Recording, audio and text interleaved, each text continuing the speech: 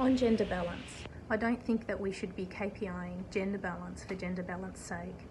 I think what we need to do is empower our environment so people can actually mix life and work, where life and work coexist.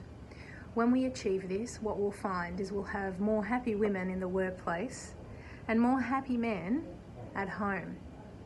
When we can achieve this, I believe that we'll have true balance in the workplace and true balance for humans to live a balanced life.